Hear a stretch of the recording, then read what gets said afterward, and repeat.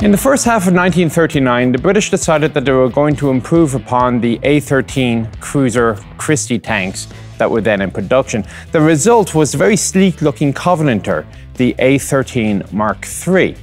To boost production in this critical time of need, the Ministry of Supply went to Lord Nuffield of Nuffield Mechanisation and Aero Company and asked them to join in the production contracts.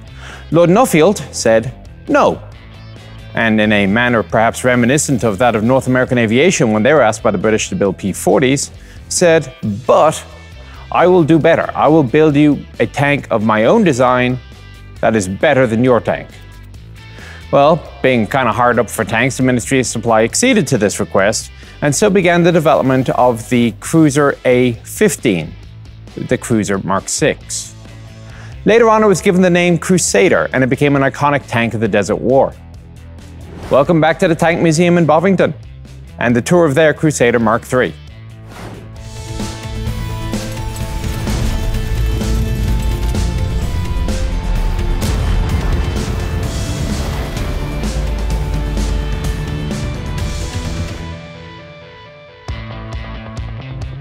Now, before we continue, I'd better explain the case of measles that this tank has developed.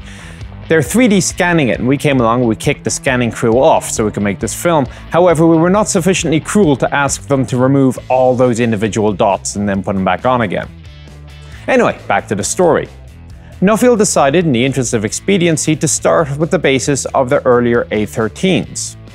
This shaved sufficient time off the development process that the first Crusaders arrived for testing in April of 1940, about a month and a half before the first Covenanter arrived. Crusader 1 was a five man crew with a two pounder gun, three men in the turret, a uh, driver, and a bow gunner in a suicidally small turret on the front left corner. This was quickly deleted. Now, the two pounder may have been a fantastic gun in 1939, but it was becoming obvious that this gun was going very rapidly out of style. Now, the good news was that the British had actually designed the six pounder before the war. The bad news was that they didn't see the point in spending the money to produce any. And after Dunkirk happened, well, they couldn't afford to stop producing two pounders long enough to retool for the six pounder. Thus, it wasn't until 1941 that production of the six pounder entered full swing, and it was December of 41 before the decision was made to design a tank to put the gun into. Crusader Mark III, the six pound version, entered production in summer of 42, which places it on the timeline somewhere in between the M3 and M4 American mediums, if you want to make a comparison, a little bit closer to the M4.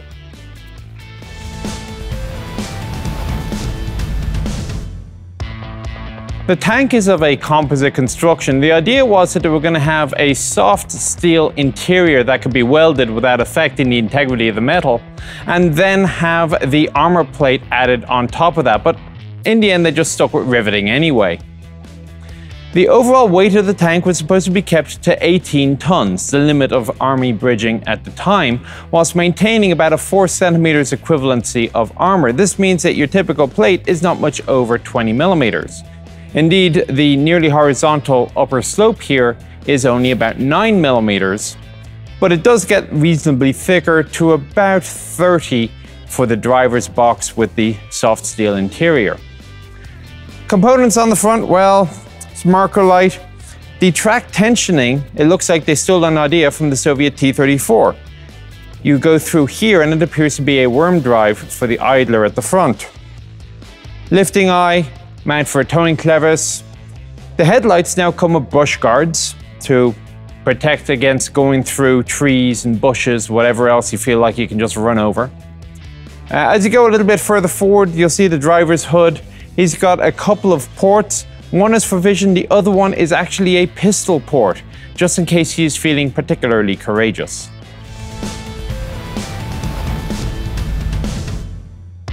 They extended the hull a little bit to fit the improved Liberty engine, and this allowed the installation of a fifth road wheel pair. The road wheels, well, they were originally made of aluminium or aluminum. Uh, the history of that word. Apparently, it's one of the few words the Americans get right. But regardless, aluminium was of high value for aircraft manufacture, so they eventually changed to pressed steel. The suspension is of the Christie type, of course, and this means that the springs are located sandwiched in between an outer and inner plate of armor, which is highly inconvenient for two reasons. A, you're taking up space, so the interior volume of this tank is not as wide as the outside dimensions might indicate. Secondly, if you have to get at one of these springs, you're in some serious work. Because you have to remove the tracks, you gotta remove the wheels. You then have to remove the side skirts and the bins. They're all bolted together. And then finally you can get at the armor plate and pull that off. As I say, highly inconvenient. There is ample stowage as you move up on the sponson bins and there's an additional small bin on the turret rear. And on the right hand side of the turret you will see a spotlight.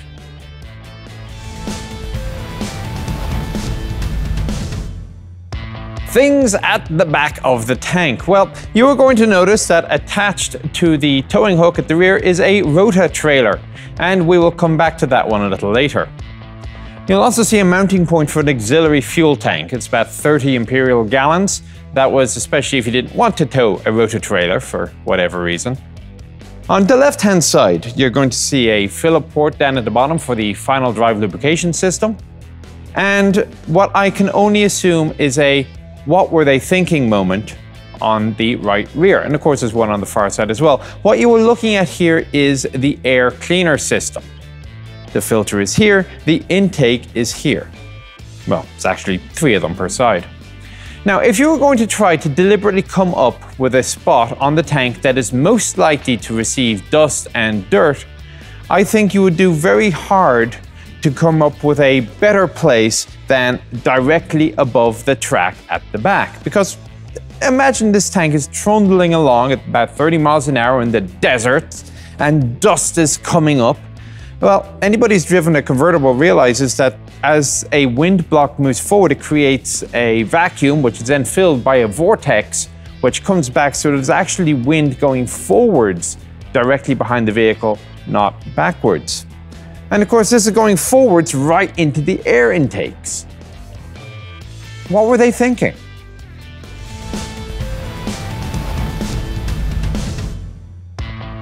The back deck, nice and flat. I'm standing on top of the Wilson Epicyclic steering system. A little bit further forward, under this hatch, is the Liberty Mark III.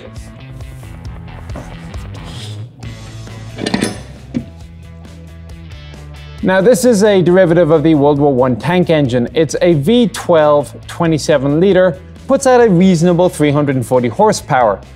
This will push the tank, which is now 19 tons, along at a 27 mile an hour clip, which is pretty good, especially when you consider that the Christie suspension will allow it to maintain a good speed off-road. The catch is that the Liberty isn't so much of an engine block as it is a whole bunch of cylinders bolted together and over time the vibrations would start to work the parts loose.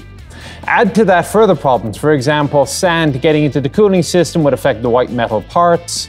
The radiator fans, well, their drive was always unreliable. This has got the chain system. Later, they moved to a shaft. As a result of all this, the tank did not exactly establish a reputation for reliability.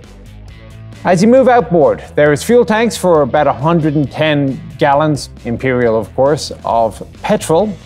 And this was estimated to get the tank about 100 miles off uh, on the roads. A little bit inboard of that, you can just see the two angled radiator fans. Finally, I am going to go back to the rota trailer. Now, I can't do any better at explaining this thing than David Fletcher did during Operation Think Tank back in about 2012. So that said, I'll hand over the video to him and I'll see you on the next one.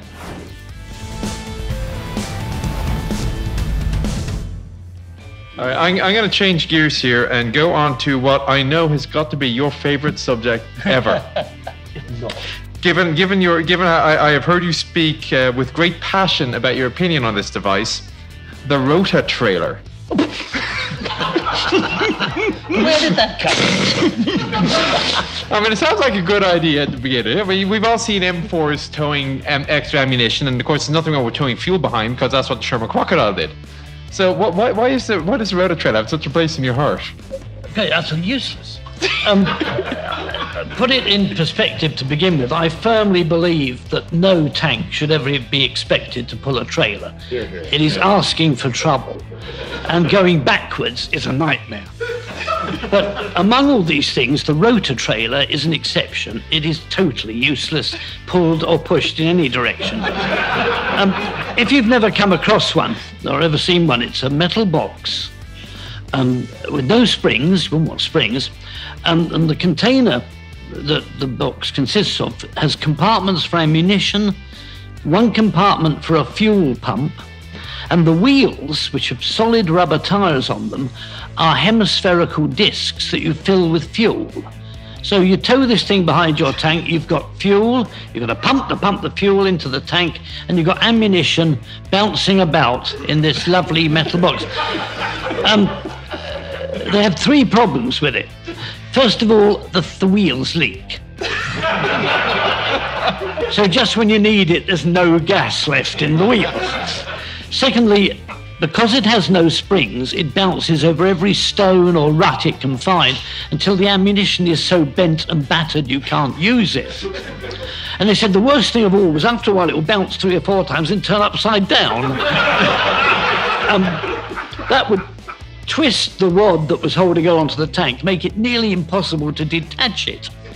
So you've now not only crippled the tank, it's got nothing to move with or fight with. So yeah, that's the, my favourite reason for hating them, if you like.